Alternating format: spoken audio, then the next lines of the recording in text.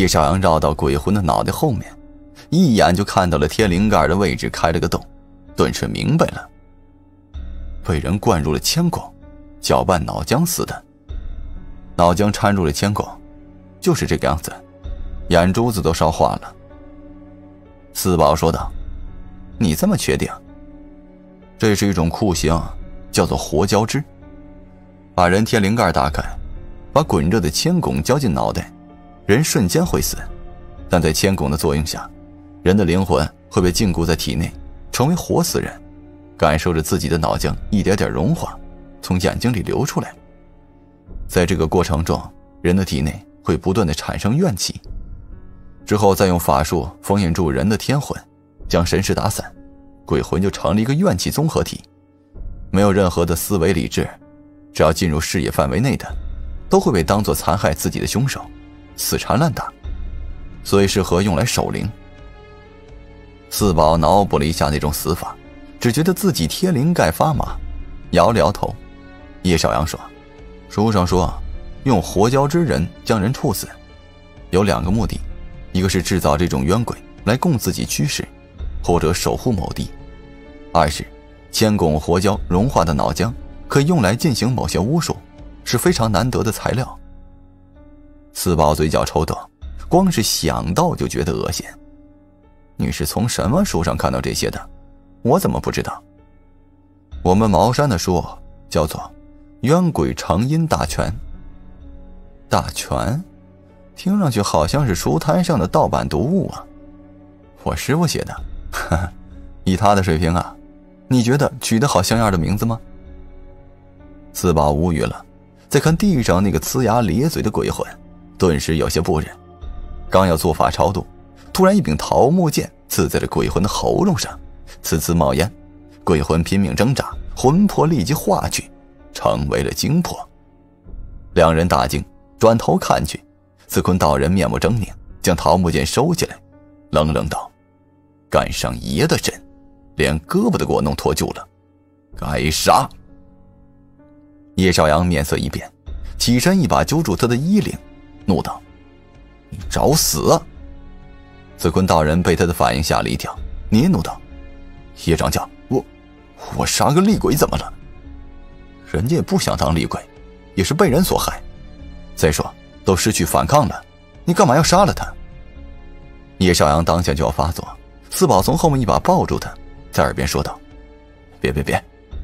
叶少阳立刻懂了他的意思，强忍住怒火，冲子坤道人冷冷说道。你要是想让我保护你，就别再擅作主张，不然，你赶紧给我滚蛋！子坤道人心中愤怒，但不敢发作，陪着笑做出保证。叶少阳这才松开他，看上去刚才的事情已经过去了，实际上他已经动了杀机，只是强迫自己忍下来，时候未到。少阳，你看，听见四宝的声音，叶少阳转头看去。那只冤鬼所化的精魄顺着台阶一直往前走，直到手电光照不到的地方。不用任何提示，叶少阳立刻意识到了所有问题的所在，当场失色。怎么可能？精魄无念，没有任何神识灵智，鬼域阴司，冥冥之中有一种力量，能够将其吸引过去。在人间的精魄，就算没有人做法帮助。一般最多也只能飘出去十几二十米，就会渗入虚空，在人间就看不见了。可眼前这个精魄怎么会一直往下飞？难道说古墓下面有什么力量能够吸引精魄？两人对视了一眼，急忙动身追赶，顺着台阶一路向下，用手电光余光照着精魄，更是吃惊的发现，这些精魄居然还顺着台阶的走向盘旋而下。更是让叶少阳二人确定了自己的判断，一直追下去，却被一道石门挡住了。精魄自然不受阻止，从石门的缝隙里穿了过去。叶少阳和四宝被拦住了，上前推了一下石门，纹丝不动。叶少阳反应极快，回头喊道：“军师！”林三生也是鬼，穿墙不在话下，回头看到子坤道人，哼哼唧唧的赶了过来。忙问他看到林三生没有？没有啊，好像之前就没看到林爷了。四宝一听，惊道：“哦，对啊，好像之前就没看到他了。”叶少阳怔住了，回忆了一下遇到那冤鬼的过程。如果林三生当时在旁边，不可能从头到尾一言不发。可是他去哪儿了呢？就算是有什么急事也不至于一句话也不说就走了吧？这里是传说中帝释天的古墓。叶少阳惊出了一身冷汗。四宝说道：“怎么办？”叶少阳也不知道，林三生不是自己的鬼仆，他也不知道该上哪儿找去。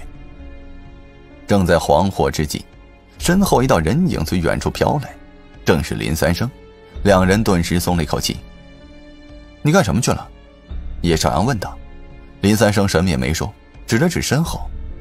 三人回头望去，只见白茫茫的一堆人影飘来，光照过去。能够穿身而过，自然是鬼。林三生说：“我只见的就是看到岔洞里面的鬼影，来不及打招呼就追了过去。一路追下去，深处有一个小型的鬼穴，这几位都在里头呢。我一个不好收拾，就都弄回来了。”叶少阳看了一眼子坤道人：“你边待着看吧，要是再敢乱来，你就滚蛋。”子坤道人也不敢搭话。叶少阳和四宝一起上前对付，这些厉鬼修为都不弱，接近厉鬼的实力。不过在这二位手里自然不是菜，几个回合下来就被擒住了，一共六个，被打出鬼神之后，全部跟之前那个一样，脑袋有些窟窿，两眼流绿水。这些鬼魂天魂被封，神识被夺，从他们身上根本问不出什么，于是超度了。一行人来到了阻挡的那扇石门前。叶少阳正在讲述着刚才发生的事，突然一阵奇怪的声音隔着石门传来，声音有些尖锐，似乎是什么东西在门上滑动，很不规则。三人听了一会儿，紫薇道人变色说道：“听着好像是指甲。”叶少阳眼前立刻出现了这一幅画面：一个人趴在石门后面。一只手在石门上轻轻的划拉着，能在石门上弄出声音的多半是僵尸。古墓有僵尸，倒也不足为怪。关键是自己一行人还没进门，没有生气进去，僵尸怎么就自己动了呢？